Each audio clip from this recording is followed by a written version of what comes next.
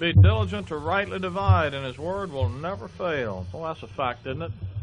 On the radio program today, some, some fellow called in and said, Well, all that rightly dividing business. You guys just need to get out of a King James Bible and go to some of these modern Bibles that don't say that. If I was him, I wouldn't mind saying. I don't blame him for saying that. Uh, he said, "I didn't want the Bible." You know, that's interesting. And I made the comment, and the man stopped me, and that's that's real frustrating. I made the comment, "That's not true," and of course, then it was, "Be quiet! It's in your turn to talk." And by the time it was, we've gone on to something else. But uh, kind of a frustration. You do the best you can in a situation like that, and the best you're going to be able to do is not going to be too good. But uh, anyway, that, that expression, rightly dividing the word of truth, in the modern Bibles is, is completely thrown out, and it says uh, rightly handling the word of God. And uh, that is what the Greek text says. You go check it. Get you, know, all you got to have to do is a Strong's Concordance. Look it up. The word is orthotomeno. Ortho, ortho, see braces? They don't only catch food, they come from an orthodontist. You know what that is? Ortho. They call that ortho work. Now, that isn't what they put them in there originally for. They, they, they lied to me when they got them in there, and after they got them, they started tightening them. and, uh, but anyway, ortho work, straightening. That's what the word is. We use orth- orthodontry. We use uh, orthodontics, orthopedics. After we were on the radio today, there was a foot doctor showed up. Orthopedist and uh, they're to have a foot doctor on there, you know. And uh, well, I tell you, the the way you step on toes around that place is it's no wonder they had a foot doctor coming. But I I was sitting in the technician's lap, and uh, poor guy, he was doing, he was they, they were doing great. That that great people at that station, real fine people. I was real impressed with the uh, with Al and the, the wisdom that he had to, to handle things and keep it on an even keel.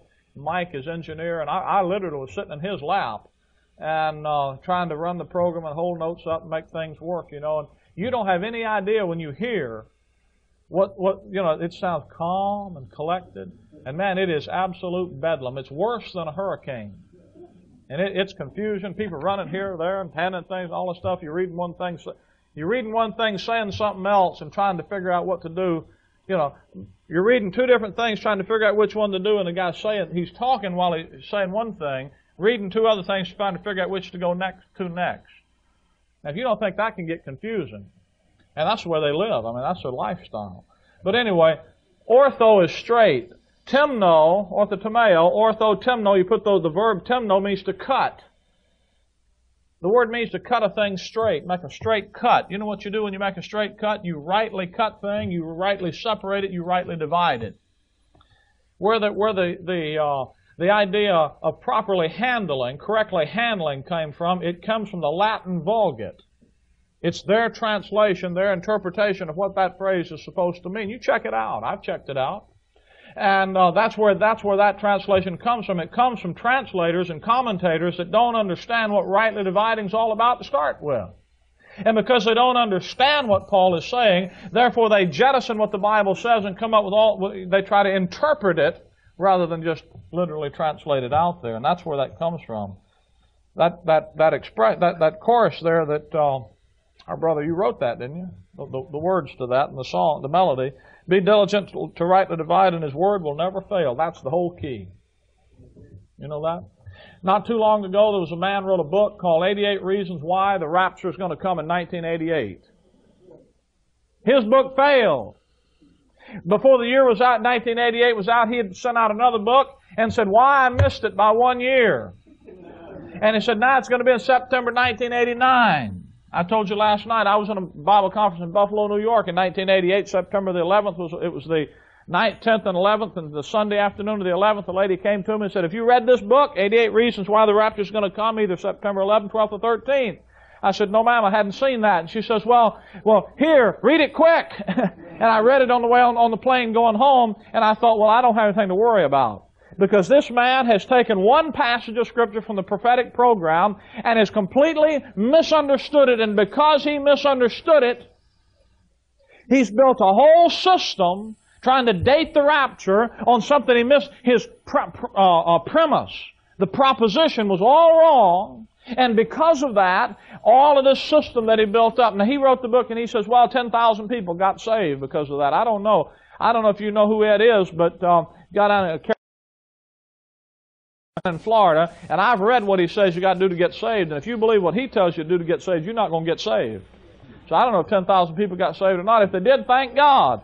But I don't thank God that a man would put out some information like that and bring the teaching ministry of the Word of God into absolute reproach. By the way, commercial. On the table back there are some tapes. I don't, I'd like to not 88 reasons. Oh, let's forget about that.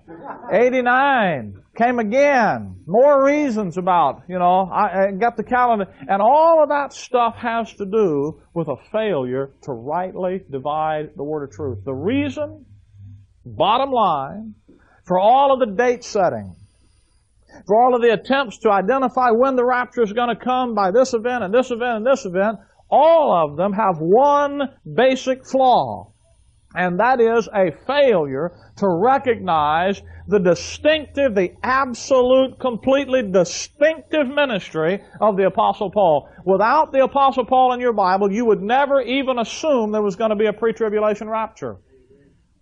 Without Paul, you'll, you know absolutely nothing about escaping and, and being delivered from the wrath to come. You don't have that, that kind of a ministry in your Bible. Listen, folks, the issue of the pre-trib is a distinctively Pauline truth. With Paul, you understand it. But what Paul holds the rapture out is that it can take place at any moment. Christ's advent back to the earth, the tribulation period that precedes it can't take place at any moment. At any moment in time, the second advent of Jesus Christ back to this earth in flaming fire to take vengeance on them that know not God, to come with His holy angels and, and sit upon the throne of His glory. At any moment in time, right now, it is at least, it is more than seven years away from tonight. It is absolutely biblically, scripturally, verse with verse, impossible for Jesus Christ to return to this planet and set up His kingdom in the next seven years. It'll take more than seven years because the 70th week of Daniel chapter 9 has to transpire before he comes back. And there are some things, we're going to see them tonight, in prophecy that have to take place before the 70th week of Daniel begins. That are going to take more than the seven years that the 70th week take place. Now, there's a passage of Scripture. Did I tell you to find any? Okay, that's going to cut through about half my notes right there. I don't have any notes. That's the problem. Somebody said, you know, somebody said, how many points did he have? Somebody told one time, said, you don't have any points. no point to your message. well, I got a point tonight. Matthew chapter number 24. There's a passage of scripture here that is commonly used to identify. I want, I want to say something to you. There are no signs to signal the coming of the rapture of the church, the body of Christ. Now, you understand what we mean by the rapture. Uh, Jesus Christ died at Calvary, ascended into heaven. The Holy Spirit came back on the apostles. Uh, in the book of Acts, the fall of Israel takes place. The church, the body of Christ, is in here like this. You can all see that pretty well. Stretch your neck down in the front row down there. okay? Um, the body of Christ comes in here. One day, Jesus Christ is going to come back in, in, into the heavens and catch the church, the body of Christ, up to meet Him in the air. And we'll face the judgment seat of Christ, and then we'll go back into the heavenly places to be with Him and be presented to God the Father. This event, right here, the catching up of the church, the body of Christ, in the Bible is called what? The day of redemption. It is not called the day of Christ, by the way. There isn't one verse in your Bible that calls the rapture the day of Christ. You know who calls it the day of Christ? Scofield. But not the Bible. Now you need to remember that. Because when you study 2 Thessalonians chapter number 2, and he talks about the day of Christ over there, and you try to, you think, well, he said, don't let any man deceive you as of the rapture. He didn't talk about the rapture. The rapture isn't called the day of Christ in your Bible. It's not called the day of Christ in anybody's Bible. The rapture is called the day of redemption. Okay? By the way, you go home and take your concordance and look up the times Paul talks about the day of Christ. You know what he called it? He called it the day of Christ, the day of Jesus Christ, the day of the Lord Jesus, the day of the Lord Jesus Christ. He didn't just call it the day of Christ. That's what the preachers call it. You know why the preachers can't understand 2 Thessalonians chapter 2 verse 2? Because they don't talk, talk like Paul talked. I'm not whistling Dixie at you. I know it, but I'm not whistling it. I'm not kidding you. I'm not just barking up a tree. Hey, folks, there's there's some things about when you study that Bible, you better take what that book says and study what it says, and let the words on the page be the thing that make the difference to you. And the day of Christ is a real interesting thing, but we're not going to talk about that tonight. That's some one of them other misunderstood subjects.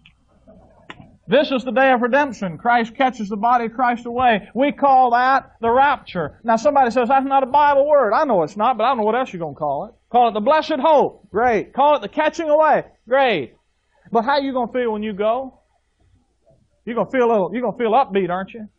When you're caught up rapture. I don't have any problem. I know people that say, well, the Latin word, then I get all bent. It's okay with me if you want to call it the rapture, if you want to call it the blessed hope, if you want to call it the catching up. I don't care what you call it. Just know it's the day of redemption, and that's that. Then after that, you're going to go back into time past back here, the basic distinction back there between the circumcision, the uncircumcision, fall of Israel, body of Christ in here, dispensation of the grace of God in here like this. Then Books of Matthew, Mark, Luke, and John fit in time past. Book of Acts, you have the fall of Israel. Romans through Philemon, you have the dispensation of grace where we are here. Hebrews through Revelation, you have the ages to come out over here. After the rapture, did you set this one out? Okay, I thought that was the one I used last night that didn't work. Hey, look at there. The blue one. After the rapture, you're going to go back. This is the but now, where we are now, over here you have the ages to come.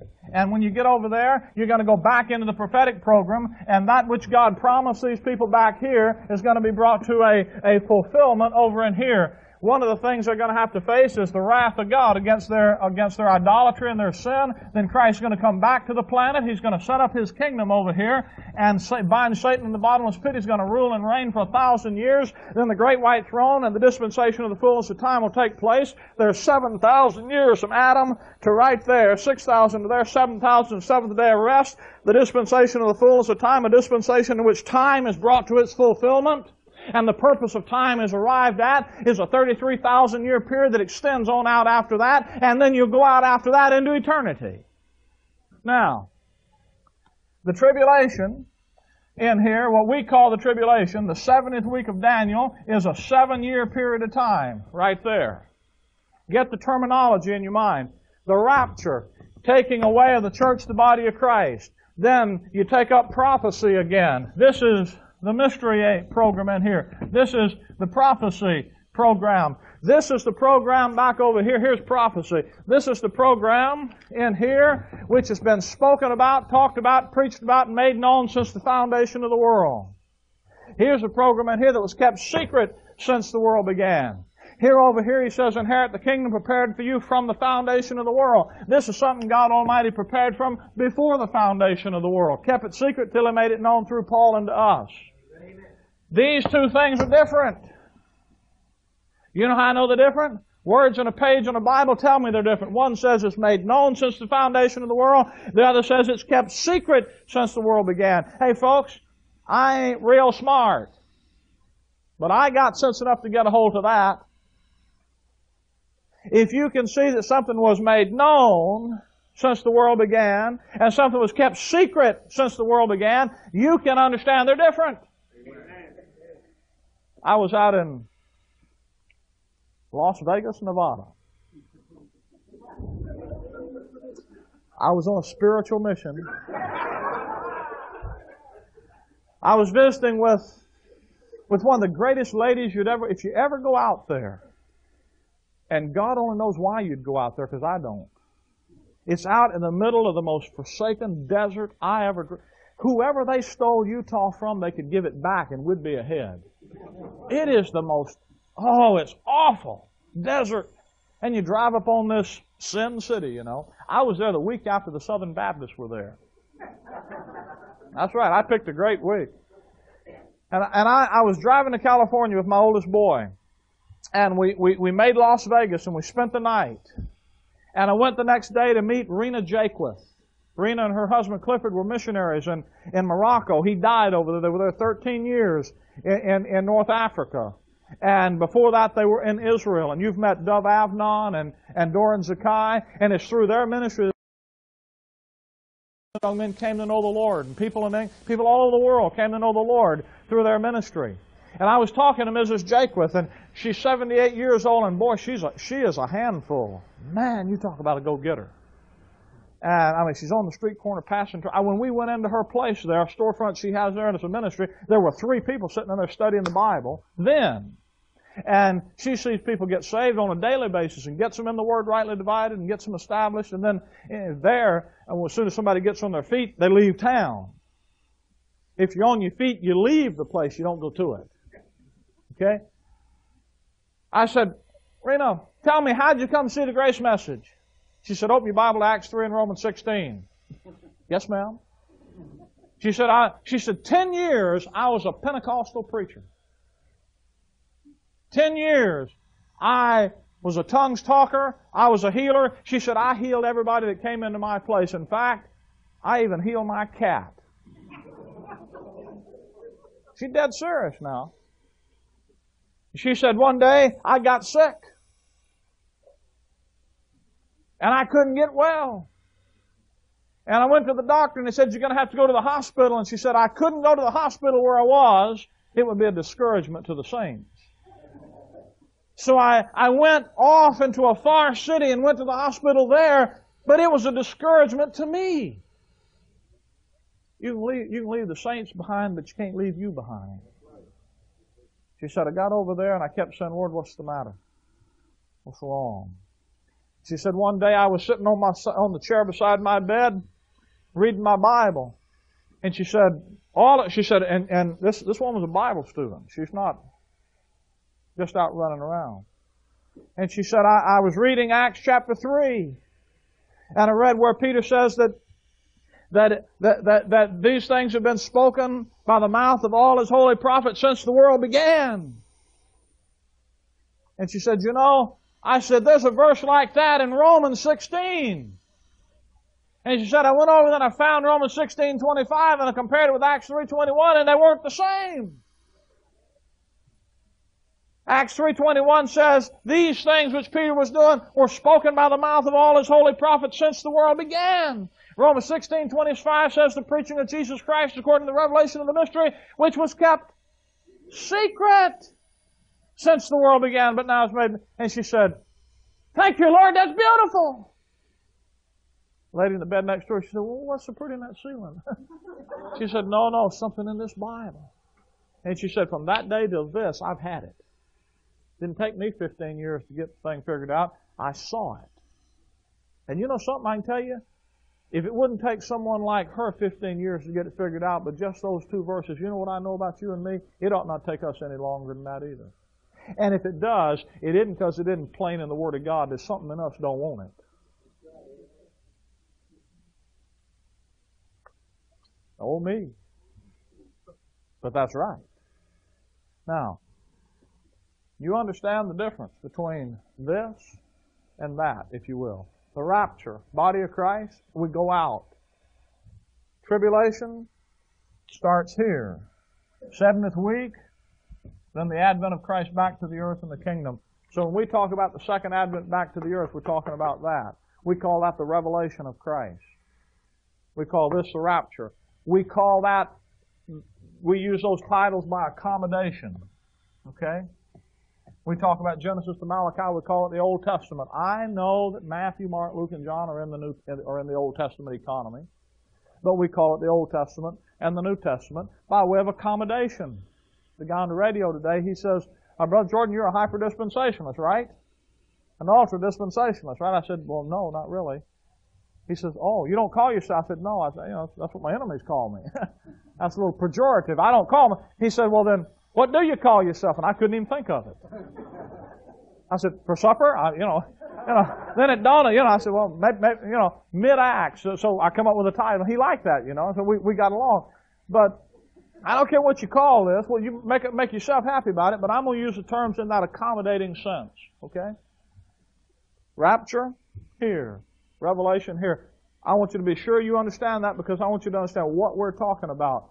When it comes to the rapture of the church, the body of Christ, this event right here, there are absolutely no N-O signs to tell you when that thing's going to show up. It could show up tonight. It might not be for another 150, 200, 300, 500 years. I don't know. And I tell you something else, you don't know. And there isn't a way you can look around at circumstances out there and figure it out. There isn't a way in the world. You say things are getting worse and worse. They've always been getting worse and worse. There's more people on the earth today than there ever have been. Well, you think you're going to get better? Only way I know to make the world better is kill off all the people. Because we're the problem. Creation was made subject to vanity, not willingly, because of our sin. And I'm not advocating going killing off everybody. I'm just saying that's the only way it's going to happen. And hey, folks, we hadn't had a good war in 40 or 50 years, so this we're going to have to one come sooner or later. Economics tell you that. And I've got three children, and I'm not promoting it, okay? When my kids get grown, I'll have grandkids, and I still won't be promoting it. I'm just saying I understand what reality is like. The rapture isn't any way to date it. I'm going to show you. I want to show you some things here about it. This thing over here, there's one, two, three, four, five, six, seven, eight. There are all kind of ways of knowing that. When this 70th week begins right here, folks, Daniel 11 says, They that have wisdom shall instruct many. They're going to understand. They can begin to count the days, buddy, and they can stand and watch him come on the day it says it. But you can't do that over here. You know what Jesus Christ told those people over there? He said, when you see these things, and he names them off over there, begin to take place, look up because your redemption draws nigh, but you don't need to look up till then. If you don't see those things happening, forget looking up. But when you see them, start looking because now it's fixing to take place. Now, you say, if all that's true, preacher, what about, you know, you know what everybody asks you about? There aren't any signs to tell you when the rapture is going to take place. So everybody says, yeah, but what about 1948? That was Ed's problem. He got all hung up on 1948. Back in 1981, everybody was, rapture's got to come. Why? Well, Israel became a nation in 1948. So you add a generation, 40 years, that's 1988. And you subtract seven years for the tribulation, the, the, the 70th week, that's 1981. That's pretty good reasoning, isn't it? Sounding good to me. 1981, he's got to be here. Was he here? Nope. Didn't come. So everybody says, well, we got to figure it another way. And so they, they say, well, maybe this number's wrong, maybe that. But you know what the problem with that is? That thing right there. The assumption's wrong. The assumption's wrong. Whoever told you that the founding of the nation Israel had anything to do with anything anyway? Hal Lindsey did, didn't he? Matthew chapter 24, verse number 31. Verse number 32. Matthew 24, 32. Now learn a parable of the fig tree. When his branch is tender and putteth forth leaves, you know that summer is nigh. So likewise ye, when ye shall see all these things, know that it is near. What's near? The second coming of Christ is near, even at the door. Verily I say unto you, this generation shall not pass till all these things shall, uh, all these things be fulfilled. Hey, that passage isn't hard to get. Look at here. Learn a parable of the fig tree. Here's the fig tree. What's that? What's fig tree type of in the Bible? Israel. Parable of the fig tree. When its branch is yet tender and putteth forth leaves, when it begins to bud forth, you know that summer is nigh. So likewise, ye, when ye shall see all these things, when you see the fig tree begin to bud, know that it, the second coming, is near. When you see the fig tree begin to bud, know that that thing right there is near. This generation, that's where they got the 40 years. This generation that sees the fig tree bud shall not pass till all these things be fulfilled. Amen. Glory. Let's go home. We got it. Right? Problem is, it didn't happen, did it? You know what the problem with that is? There's a basic misunderstanding of what that passage is all about. Now, there are two problems.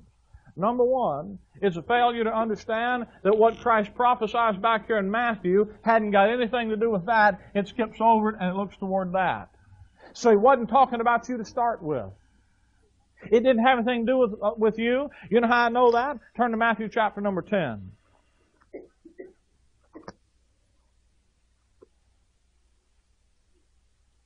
Lady called up on the radio today. You know, she started calling out. Uh, she read us about two pages out of John MacArthur's I started this, and I didn't say it. Leon's right. I didn't say it. I started to say, well, John's book's good, but how about let's read in God's book? I thought about that, but I didn't say it. See, I held it back. I kept it back, but uh, the guy I was on there with, he almost didn't.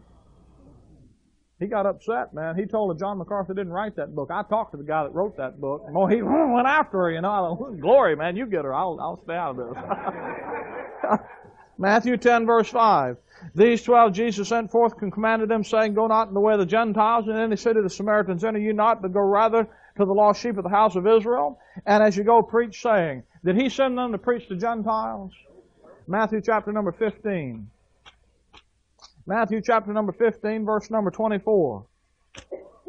Jesus says to his disciples, I am not sent but unto the lost sheep of the house of Israel. You know how I know Matthew 24 doesn't have anything to do with the dispensation of the grace of God and the rapture of the church, the body of Christ, and you people sitting in here tonight? Because He didn't talk to you back then. You know why you can't take the book of Matthew and get instructions that are going to work in your life? Why the prayer promises in Matthew 21, 22 don't work in your life even when you make out like they do? You got all these theological gimmicks to try to make those things work, and you know they don't work. That's why you got all them gimmicks. And the reason they don't is God never gave you any instructions back there. Jesus Christ gave you plenty to do. Hey, if you want to do what He wants you to do, there's plenty to do in Romans to Philemon. You'll be tired and poor and old and, and never get them all done. You don't believe that? Take the book of Romans and just try it. Take Rome. I, I dare you. Take Romans chapter 12.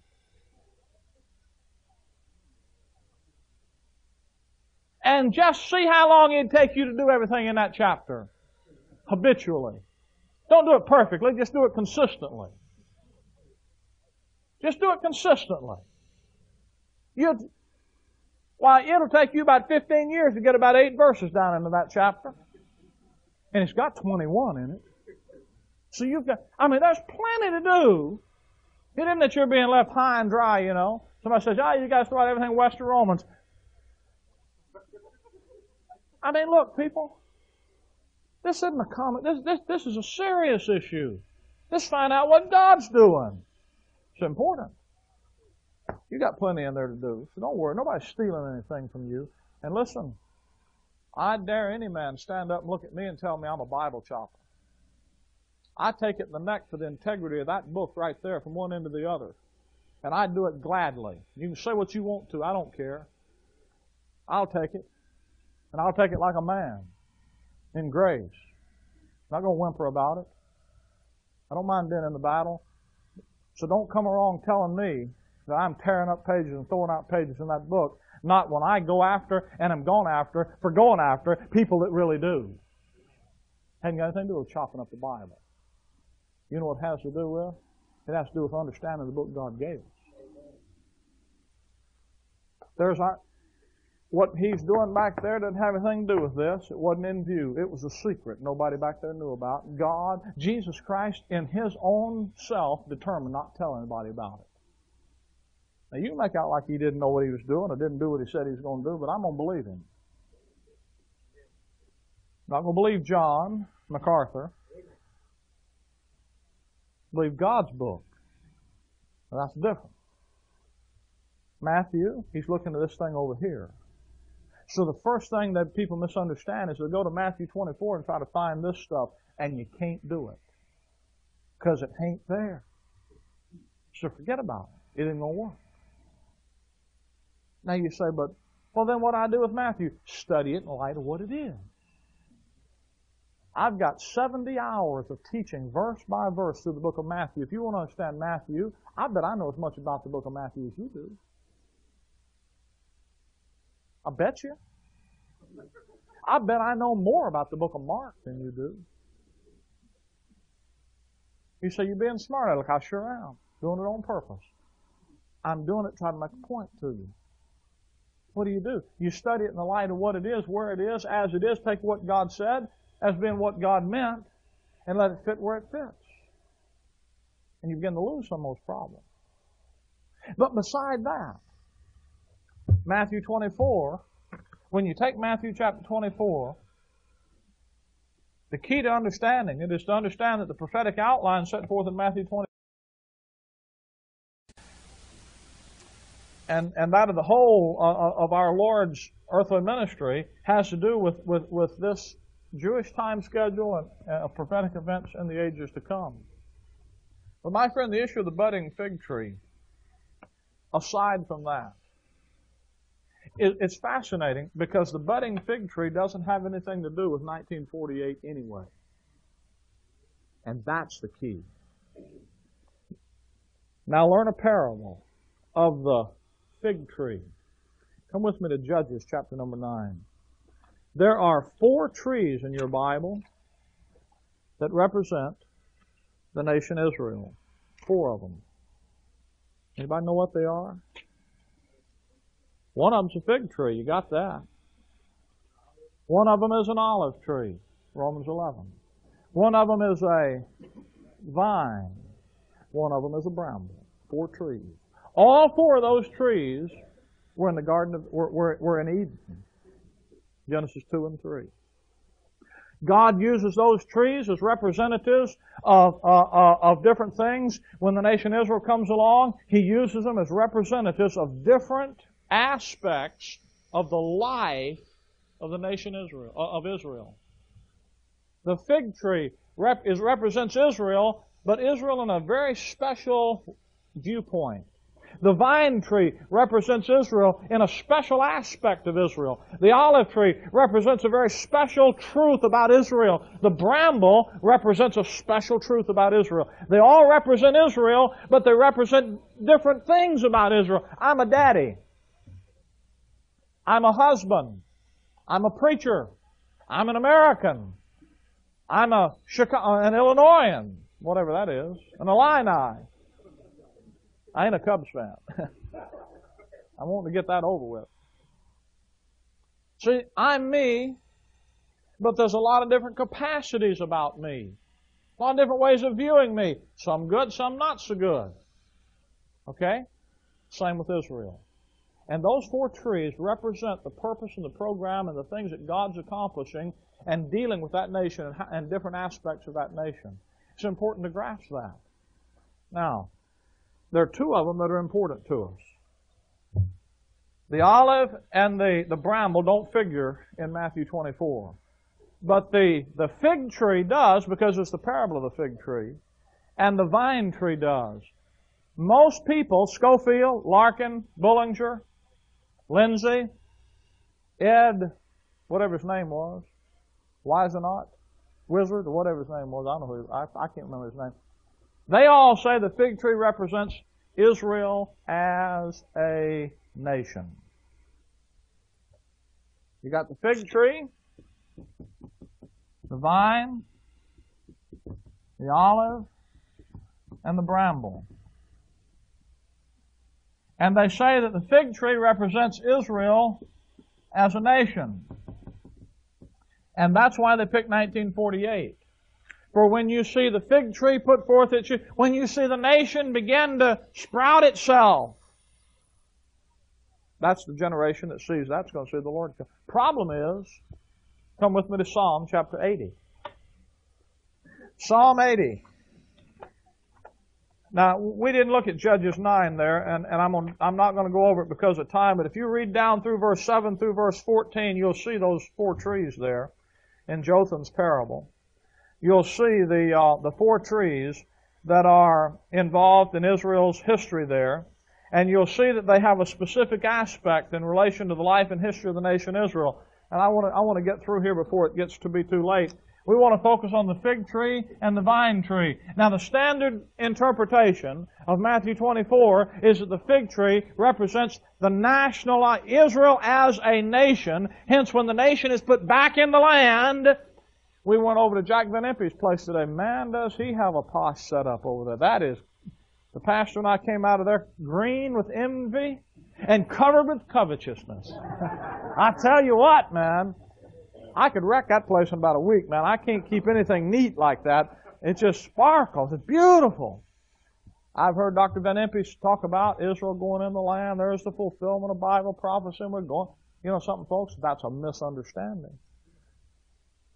As far as pr- the prophetic program in our day goes, that's probably one of the most misunderstood things with regard to the coming Antichrist there is. That's the basic passage for all the date setting. And they're dead wrong. First, because it hadn't got anything to do with us. But even if you took that aside, it doesn't have anything to do with what they say it has anything to do with because they've misunderstood what the fig tree is. Psalm 80. Verse number 8. Get Psalm 80 in one hand and Isaiah chapter 5 in one hand. Psalm 80 and Isaiah 5. Psalm 80, verse number 8. Thou, talking about verse number 1, give ear, O shepherd of Israel. Thou, the shepherd of Israel, hast brought a what? A vine out of where? Egypt. Who'd God bring out of Egypt? He brought the nation Israel out of, out of Egypt, didn't he? Do you know what the birthday of the nation Israel was? It was the Exodus out of Egypt. You know what the birthday of our land is, don't you? July 4th, 19, oh, 19, 1776, whenever it was. we were, we had, there were people here, but we, we, we, we gave birth to our nation. The birth of the nation Israel was the exodus out of Egypt. Verse 8 says, Thou hast brought a vine out of Egypt. Thou hast cast out the heathen and planted it. Thou preparest room before it and didst cause it to take deep root and it fill the land. And on and on he goes to describe how he, he cast out the, the, the, the, the heathen and how, how he took that vine and, and planted it in Palestine and how it spread across the country from Jordan all the way to, to the Mediterranean. Folks, it's clear. If Psalm 80 means anything, that the vine that he planted in Palestine is the nation. Then in the Bible, what does the vine represent? Say it loud. The national life of Israel. So if I'm looking for something to represent Israel as a nation, what tree do I look for? The fig tree? No, the vine tree. So if I'm looking for something to represent 1948, I'd look for the vine, not the fig. You get that? Isaiah chapter 5, in case you didn't. Now I will sing to my well-beloved a song of my beloved touching his vineyard, his vineyard. My well-beloved hath a vineyard and a very fruitful hill. Verse number seven. He talks, verse one, two to five, seven, he talks about planting it in Palestine. Verse seven, for the vineyard of the Lord of hosts is the house of Israel and the men of Judah his pleasure. Listen folks, the nation, Four trees. The fig tree, the vine tree, the olive tree, the bramble. The bramble represents Israel and idolatry and apostasy under the Antichrist. The olive tree represents the access to God that's available through the nation Israel. When Solomon built that temple, you remember what he made the doors out of that went into the Holy of Holies? He made the doors he made everything else out of some other kind of wood, but he made the doors and the posts that the doors hang, hung on, on out of olive trees. You know why? Because it represents access to God available through that nation. The vine tree. You know what it represents? It represents Israel as a nation. Planted in the land of Palestine and growing now, I got a pro- I, don't have a problem with that. So far, so good, right? Problem is, Matthew 24 is a parable of what kind of tree? So we can just kick out 1948. It hasn't got anything to do with it. That fig tree over there hadn't got anything to do with the restoration of the nation Israel or of Israel as a nation. It's got something to do with Israel because all those trees represent Israel, but the vine tree, the, the fig tree does not represent Israel as a nation. How do I know? Because that's what the vine tree does.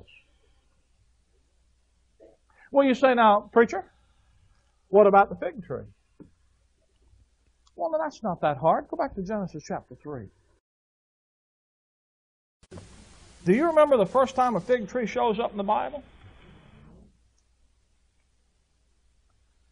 Genesis chapter 3, verse number 6, and when the woman saw that the tree was good for food and that it was pleasant to the eyes, a tree to be desired to make one wise, she took the fruit thereof and did eat, and gave also to her husband with her, and he did eat, and the eyes of them both were open, and they knew that they were naked, and they sewed fig leaves. They made themselves little breeches out of fig leaves. And that was when fig tree religion was begun. That's the beginning of religion right there. Human effort man's feeble attempt to cover himself before a holy God. And you know what he did? He reached up and took a leaf off a tree. The olive tree was available. You take that. He'd already took something off the, the vine tree that he shouldn't have. Cedars were available. Pines were available. You know, what? oak trees were available. You know what he took? Fig leaves. You know what figs? You know what fig trees? What a fig represents? It represents religion. It represents self-righteousness. It represents man's attempt to bind himself back. You know what it is? It's it's the religious life. It represents Israel's religion. Come with me to Matthew chapter 21. Let me show you something. If that isn't the way this thing works out, you got a problem, brother. Matthew 21. We were over there today at that, that radio station. That brother from Texas, Tom, dear guy, nice guy, gentleman. I talked to him later and hope to get to know him, get a chance to talk with him about some of the things we tried to discuss and didn't really have much opportunity to do between us. When they opened up the phone lines, it wasn't me and him, me against him, and him against me. It was us against them because everybody out there in the listening audience, they're anti-dispensational. And every telephone call that, that came into there was opposed to both of us, not just me. Did you notice that? They were, you know what the church out there, 97.9% of the church out there is anti-dispensational. Tom, Tom was on that station. They, they tried to get a professor at Dallas Seminary on. And he had a class this afternoon and couldn't come on, so he recommended Tom Ice to them because he and Tom have co-authored a book about dominion theology. That's how Tom got to be on there today. Tom told me on the telephone after we talked, he said, you know, if some of the professors from Dallas Seminary had been on, they'd have been in real agreement with you and in much sympathy with the callers. And I said, how would that be? He said, because Dallas is so weak now just about being dispensationalist. Forget being Acts 2, just dispensational at all. You know, that is the school in America that's always stood head and shoulders for dispensationalism against covenant theology and amillennialism, postmillennialism. And you know what? The man down there that knows the people, I don't know him. He knows them, talks to them, sees them. You know what he said? He said they're weak, they're about gone. Only a few of them. And the ones that are strong, they've kind of gotten out the door. You know what that means, folks? That means what we're doing here is, is real different. What we're doing in here, well, you're a bunch of oddballs. Of course, you knew that to start with, but that's the, that's the view. Being a dispensationalist in 1989 is not front and center. Everybody talk about, oh, how, no, no, no. You know what you're going to be? You're going to be a peculiar people. Zealous of good works, I hope, but peculiar nonetheless.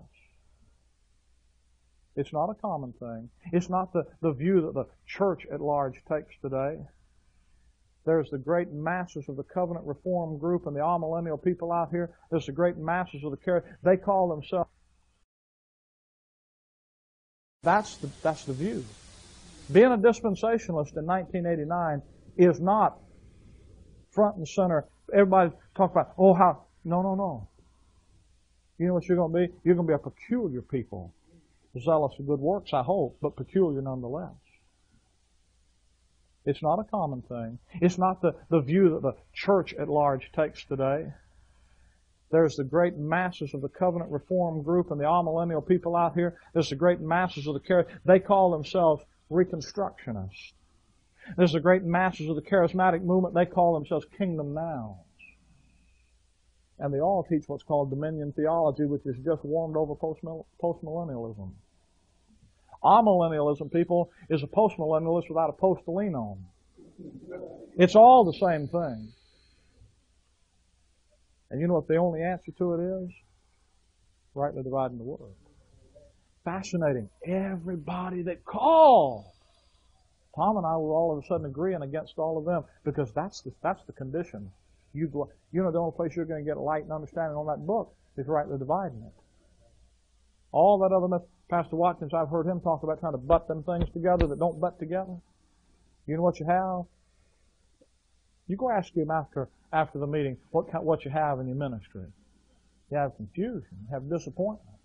It all just comes apart and unravels, and it don't work. And I don't care how much you scream and holler to the contrary, it isn't going to work because you aren't going to make God do something God isn't going to do.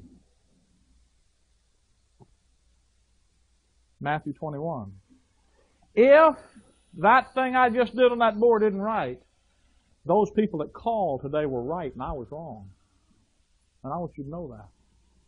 A lady called up, read MacArthur's book, and she says, if what those guys are saying, we're preaching a false gospel, you're right, brother. If what, if what you're saying is right, I'm preaching a heresy. And that's a fact. If the gospel that saves a man today is the gospel that was preached in Matthew, Mark, Luke, and John, brother, I don't preach it. I'm not going to tell you to get saved today by what must good master, what must I do to have eternal life? Keep the commandments. You're not going to get that from me. You know what you're going to get from me? You can't keep the law. Quit keeping the law. Quit trying to keep the law and just have faith alone in the finished work of Jesus Christ. So I say that on the radio. Some guy comes on and says, yeah, but we all got to work. James chapter 2. You know what the problem with that is? Absolute confusion. Trying to put grace and works together. And you know what happens when you do that? God takes His grace out. You don't have to worry about what you did to it. God will take care of it. He'll take His grace out. He's a jealous God, folks. He sets, it's not of him that willeth or runneth, but it's of God. He's the one sets the standard. He's the one tells you what happens, not you him. He tells you how he'll take you, not, not you telling him how you'll come. And I'll tell you something, if that right there isn't true, if this thing right here about this fig tree being the religion, the vine being the nation, isn't true, then you can just walk out here forget anything I've told you. Because they're right. I'm going to show you that. Matthew 21. Verse 17. He left them, went out of the city into Bethany, and lodged there. Now in the morning, as he returned into the city, he hungered. When he saw the fig tree in the way, he came to and found no th- nothing thereon, but leaves only, and said unto it, let no fruit grow on therefore uh, henceforth forever. And presently the fig tree withered away, and his disciples saw it, and they marveled, saying, How soon is the fig tree withered away? Now people, you know, they try to excuse the Lord for cursing the fig tree and making it wither, and they say, Well, it had leaves, but it didn't have any fruit. And fig trees, somebody, I, have read this all my life. I don't know if it's true or not. But they say that in Palestine the fig trees have figs on them before they have leaves. Now I'm going to tell you something. My mom in her backyard down in Mobile, all my life, had three big old fig trees. She used to can eight, ten gallons of figs every year off them figs. I love figs. Preserves. Man, I tell you, that's, that's how I got this way. I just get this way eating, eat, eating nothing. I never saw a fig tree in my life had figs on it before it had leaves on it. Now maybe they got some different kind of breed of them over there. I don't know. But that isn't the point in this passage. That fig tree had leaves, it didn't have any fruit. And Christ cursed it. It made a profession, but it didn't have the fruit to go with it. Christ came looking for fruit. I'm hungry, looking for fruit. And there wasn't any in Israel. But do you see what it says when the, he, he cursed, let no fruit grow on thee henceforth? What's the next word? Forever. If that fig tree represents the nation, you know what Jesus Christ said? He said, fruit can't come from that nation forever. He cursed the nation forever. Then the nation Israel's gone. God's through with them. All them dudes out there are right, and we might as well just go be part of them because it sure makes their life a lot easier. And it makes the ministry more prosperous. I guarantee you, I could get a big church. I know how to do it. Problem is, they ain't right. That fig tree isn't the nation. And God isn't through with Israel. And if Romans 11 says anything, it says that.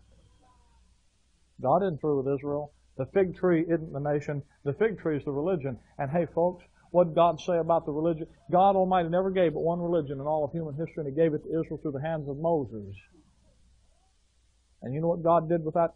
You know what that Mosaic covenant did? They never brought forth any fruit under that Mosaic covenant that blessed God, that pleased God. And God Almighty said, that thing's cursed. It won't do because you're the problem. And all that comes with that is a curse. And so God Almighty sets that thing aside and He says, I'm going to have to give you a what? A new covenant. I'm going to come and do for you, Israel, what you couldn't do for yourself. And so He sends a, He sends a Redeemer back on the basis of a new covenant, sets up that new covenant, and through the blessings of that new covenant gives them what He promised. What I'm saying to you, people, is that Matthew 24 has absolutely nothing to do with this. It has absolutely nothing to do with, with what these people do over here with it. They don't even understand. You know what he's saying? He's saying when you see that fig tree bud, you'll know that those things over there are coming. That 70th week of Daniel is divided into two sections. There's 1,260 days on one side, 1,260 days on the other side.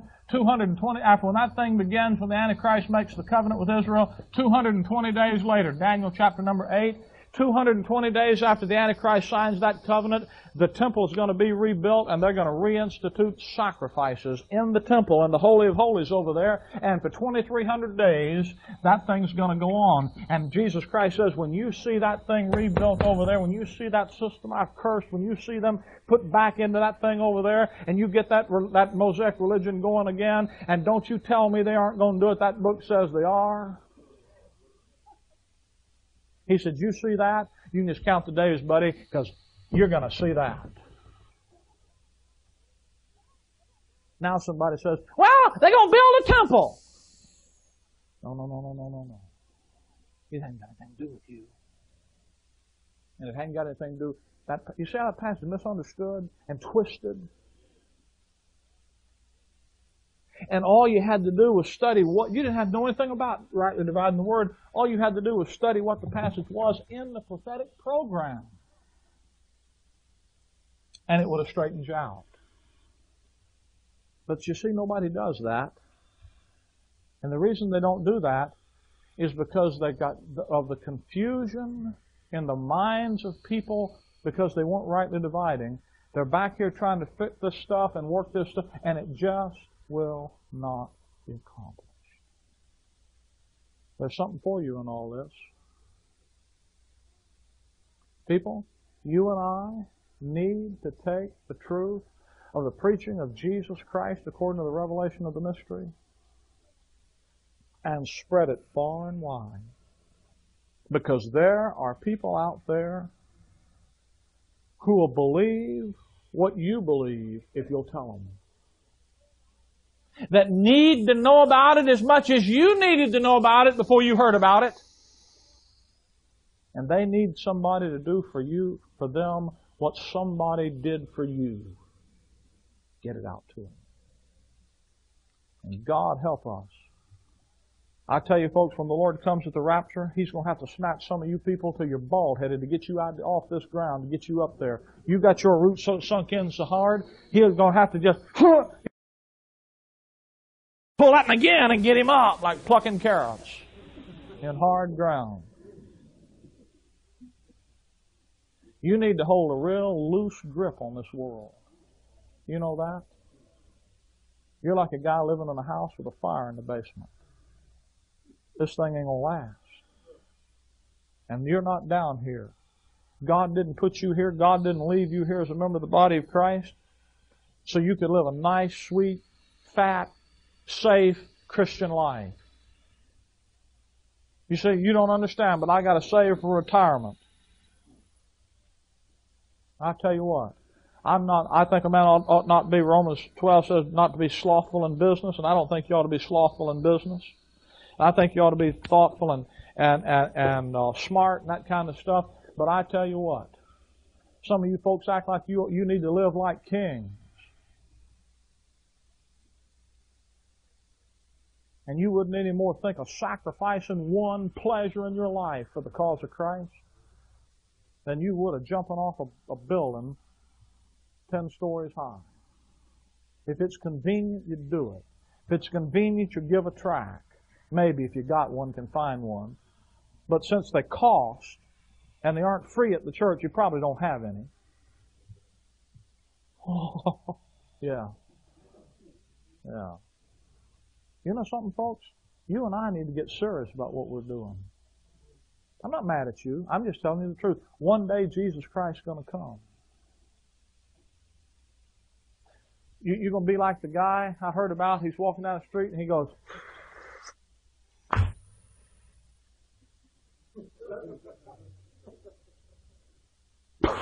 Where you going to blow it?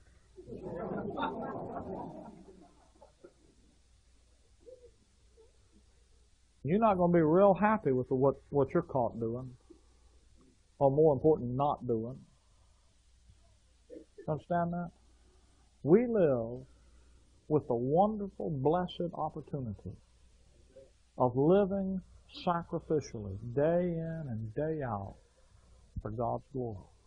He gives you the privilege of being responsible to live every day, every moment, as though it were your last. With the hope and the expectation that He could be here any moment. And my friend, that wonderful, blessed, happy, joy-filled hope is ours. And all the confusion of all this other stuff, you don't need to look around you for all these signs and things. You know what? I don't have to look around me and say, Whoo, look at that, the Lord must be coming soon. I look in His book. And it tells me He might be coming soon. And I put my confidence in that. If the Lord came tonight, would you go to be with Him or would you be left here? This is not going to be a partial rapture. You know what the Bible says about Jesus Christ? He was declared to be the Son of God with power by the resurrection from the dead. God Almighty knows who all His children are. He knows every member of His family by name, and He's not going to leave one of them here. He's going to take them all out. And He's going to declare publicly before the universe, you're His child. You're His son. He's going to take you. That's when the adoption to the adoption to wit, the redemption of the body. You know, when you get your, you got the spirit of adoption now. You've got God the Holy Spirit that's going to resurrect your body. He's the Spirit that lets you cry, Abba, Father. He's the Spirit that gives you the ability to live up to your position, but you're going to get the position. The adoption is when God takes you, the redemption of your body, when He takes you up there and puts you in publicly, displays you to be His full grown son. Boy, what a day that's going to be. When that takes place, he ain't going to have any misfires. He's going to know who his are, and they're going to go. And if you're not, I might think you were. Won't make any difference what I think. Nope. It's what he knows.